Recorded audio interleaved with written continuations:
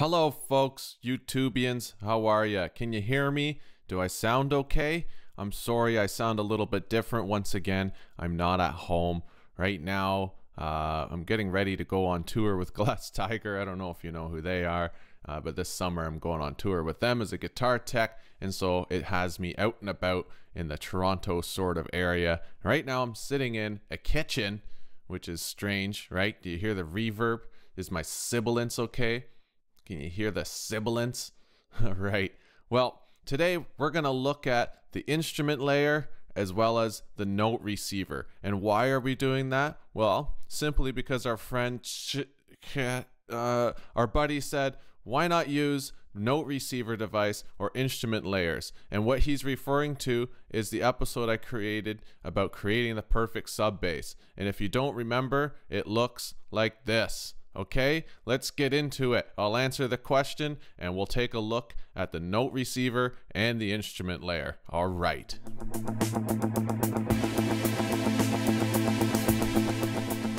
Okay, so if you remember, I don't know if you watched my video on creating the quote perfect sub bass, which we all know isn't possible. Um, it's subjective, I guess, you know, whatever you think is perfect, therefore is perfect. Uh, but in that video, what I did was I created five different uh, synthesizers here. You got my high mids, mids, low mids, low, and stupid, which is just stupid low. And basically, you'll hardly hear that unless you're at a concert or you're in headphones or you're at a festival. But it's necessary to throw in there. And I created five whole different MIDI tracks here. Okay. So there is an easier way to do that, as our friend pointed out, called using the instrument layer. And so, first of all, let's have a listen to this.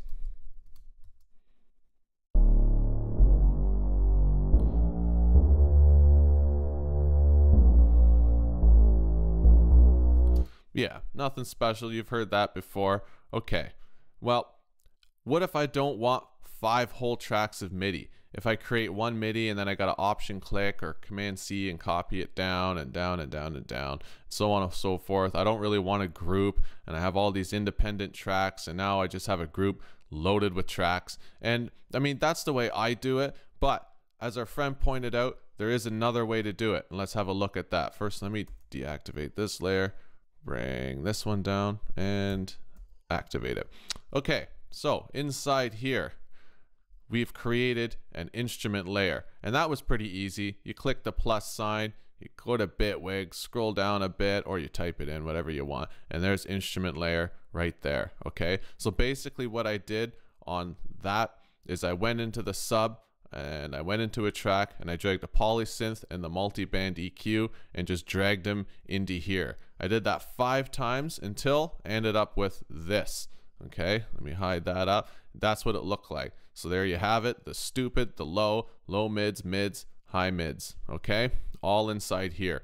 All five of those tracks in this container. And what's nice is now I just have one single track of MIDI inside this and it's effectively playing all five of those tracks. So yeah, it's quite a bit cleaner. So you'll notice because these are all on different octaves, octaves depending on what's appropriate for its corresponding synth. I had to go in and in each one I added a note pitch shifter, which is easy. Click plus, note pitch shifter, and it gives you this little sucker right here. And then I just jumped the octaves up or down depending on what is appropriate for that synth at the time. And of course, there's my multi-band effects. It's made for effects so you can put effects here, here, and here, but it works as a decent EQ just because it's got the crossovers worked out for you. Okay, so let's have a listen to this guy.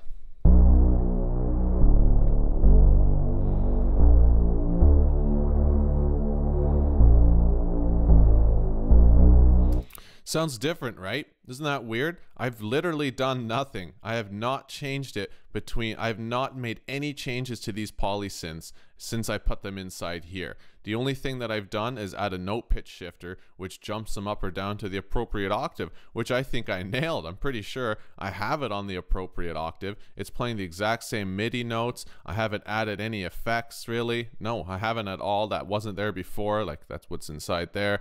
The EQ is the same. Everything's the same. But for whatever reason, it sounds different. That's for a later exploration, but it's just, I thought that was interesting, and so I'd point it out. So now what are the considerations when using this? Because it is very convenient right? Now I only have one track, I only have to create one MIDI, and all this will kind of figure itself out. I've kind of created a little machine that will just figure itself out. I put in a MIDI there in the same octave, and it figures its shit out. Well, that's fantastic. But what if in the middle of your song you're having a breakdown? Not you mentally, not not like you need a shrink or anything, but you have a breakdown in the song where all you want in is low and stupid to be playing. Okay, well that's easy because in this one you could easily just not have the MIDI in any of these and just have the MIDI playing in those. And what the difference is, so if I were to show you, for example, go like this. Do, do, do, do. Okay.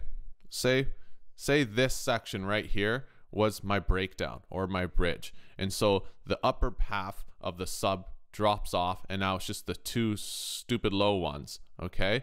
And that's pretty cool. It was easy to do. I didn't have to automate anything. I simply just removed the MIDI from the top. And there's a secondary benefit to doing that, which is Bitwig's um, uh, I think it's called the sandboxing feature, where it's not just it's not that it's muting this instrument when there's no MIDI here, and it's not just not playing this instrument when it's when it, there's no MIDI there. It is suspending this instrument. It's turning it off. This instrument has zero effect on your CPU as soon as it hits this point, and when it gets to probably somewhere like right there, it'll turn it back on and then get ready to, to play again. Okay, so that's super handy. So how do you create that inside the instrument layer?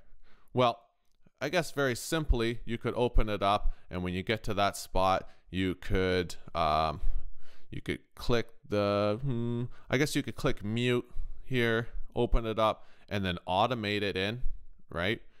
I suppose you could do that, uh, and that would work okay. I, I would say you could solo those, but I think like it'll actually just solely like you wouldn't want to go and solo all the tracks you want to keep and automate those in. Um, I guess you could create a secondary one, or I guess you could filter it out and automate a filter to do it, but you'd have to make some decisions on how to get that breakdown so it's just the stupid and the low instead of just going in here and removing the MIDI. Secondly, another consideration is what if in some weird, you know, maybe I'm making like a sub bass that's made out of strings. I know that sounds weird, but you should try it. It's actually pretty cool. Um, and in, though, in that case, um, I've done it before where these notes are not playing the same thing, right? They're playing a little bit different. This one, if it's in, if it's just a broken up or arpeggiated chord, then I might hold this one's note all the way to here while these ones change, so on and so forth. Well, if I have an instrument layer, instrument layers are made so that it's all all of these tracks are playing off the same MIDI. So I guess if you wanted to achieve that effect, you could go into the ones that you want to keep the same and play with the note pitch shifter and automate that. But again, it's just a little bit more of a pain than just simply writing different MIDI for the tracks that you want to keep doing something different. Okay, so this is a super handy tool if you know that a bunch of your tracks, a bunch of your synth tracks are going to play the exact same MIDI. If that's the case, definitely try this out, use this up. Um, throw a note pitch shifter in there if you need to change the octaves, and of course, keep your multi band effects. And then, of course, also if you want distortion on the end, you can just add that just like anything anytime that you uh, have an instrument, you can add whatever effects you want on reverb. You can still send it. Nothing's really, you can still send it to reverb. Nothing's really different except for the fact that instead of having five independent tracks in MIDI, you have one and it's playing all of those. Okay. Great question. Super handy feature. For me personally, if I'm making a sub bass, I might go that route. But in general, I'm going to stick to probably doing this. Uh, for the reasons that I was saying, is because it's easier to manipulate breakdowns. It turns off these synths when it's not being used. And if I want to change independent control of the tracks, I can do that. In, in the mixing stage, it's very simple. Um, because it's not buried. All the levels are right there, just like in here. I guess that all the levels are here as well. But you know me, I put a tool on everything and I automate that and I mix with that. And so for me, I, I just like this. Uh, but it's you know it's different strokes for different folks. If you if you're gonna get away with using an instrument layer, I think it's a great way to go. Okay. So the second thing that he had mentioned, let me just close that up and close that up, is the note receiver. Okay. So what exactly is the note receiver? Well, let's have a look. On this channel, I have no instrument. There's nothing there. It's just a MIDI channel that has MIDI data on it. Okay. So if I play this, nothing. There's no instrument that it's playing. It's like hitting the keys on a keyboard that aren't plugged in. Okay. Down here, I have a note receiver and a polysynth. Let me delete the note receiver. I just have a MIDI track with a polysynth on it. So it'll make noise. See that? Beautiful. Um, and that's it. But there's no MIDI data. Okay, so that's fine. You can click plus, you can go to note receiver and click OK. And so from the note receiver, this is what pops up. Open it up, go to note receiver, MIDI data, MIDI data. So now it's receiving the MIDI notes that are coming from this track and playing them in here. Let's listen.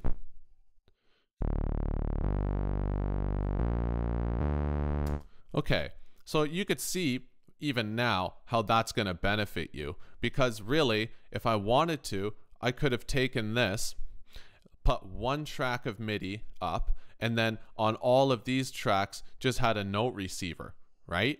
Instead of having the actual independent uh, MIDI tracks on each track. Uh, so I could have had my my highs, high mids, mids, lows, and stupid there, all on note receivers, right? And then it's just reading the MIDI from the very top channel or whatever channel. But again, um, so what what would I do in the case of changing this up? If I wanted this to break away, if I wanted one of the channels to break away from what the others are doing, well, I suppose you could go like this, right? Click this button, and then when you open up the automation, it turns it on or off. So you could turn that off and then at that moment have MIDI play on this channel and take over, right? Uh, still a bit more of a pain than just just dealing with that. Uh, but it's an, another great way to go. If you know you you want to siphon off the notes of another channel and just play them simply through another synth instrument, uh, note receiver is a fantastic way to go. Okay, and it's very easy. It would work great for strings again. Um, but that's basically it. Also, the, to answer the question properly, the reason why I didn't show that in that video is because any of the viewers who are following along with me, I haven't yet made this video on instrument layers or note receivers, okay? And I think it's important to understand the concept A, if you're new to Bitwig, then it's just good for you to handle MIDI five times and edit it and understand it that way. B, it's also a good idea to understand what octave range that you're putting in to each one, each instrument uh, for the sound, and how to set the, the the filters there. Okay, and then arranging them from high mids, mids, low mids, low and stupid like that.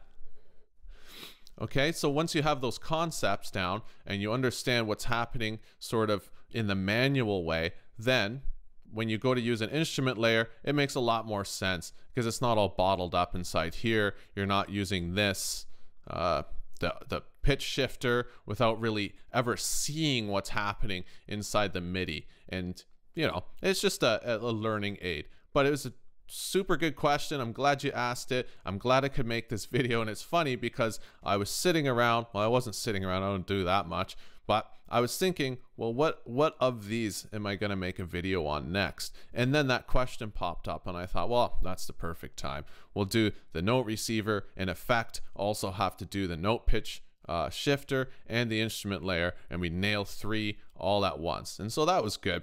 That worked out. So I hope that answers your question. Um, I hope these these instrument layers and note receiver kind of uh, tutorials help you out a bunch because they are major time savers. Okay, uh, they're they're efficiency tools, as I like to call them. But also, if you're new to Bitwig, definitely make sure you understand what's happening here. Why is this in that octave and this in a different octave, so on and so forth. What what and make a list in your mind. What do you need to do? What kind of things are you altering inside here? Like when a breakdown comes, do you find yourself cutting off this MIDI and then bringing it back in? Right? Do you find yourself filtering it down? Do you what, like what are you adjusting or what are you automating inside each one of these? Are you turning up the glide often? And just make a mental note. On average, what are you manipulating when you use this type of sub bass? That way, when you start to use the instrument layer, you know what you're going to have to go for and you can set yourself up that way, right? If I know I need a breakdown, okay, well, I need, if I want to, if I just have to use an instrument layer, then I'm going to want to know ahead of time, well, how am I going to adjust it when it comes to the breakdown? What am I going to do to get rid of those three tracks of upper mid uh, uh, MIDI? And how is that going to work out? Okay? But by doing it this way, you'll understand what you need and the effects you need, and then you'll understand how to operate within the limitations of the instrument layer, okay? And same with note receiver. You'll understand it more if you do it manually first, okay? All right, so I hope that answers your question. Here we go. You know what I'm doing now.